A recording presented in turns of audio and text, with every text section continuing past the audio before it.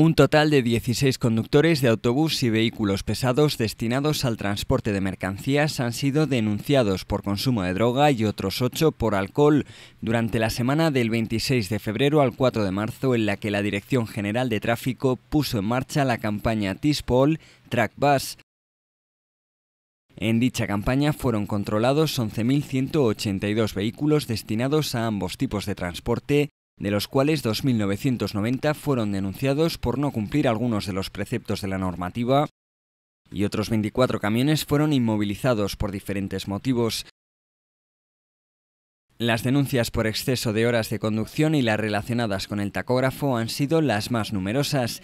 En concreto, los agentes de tráfico han tramitado 550 denuncias por exceso de horas de conducción y 365 por cuestiones relacionadas con el tacógrafo.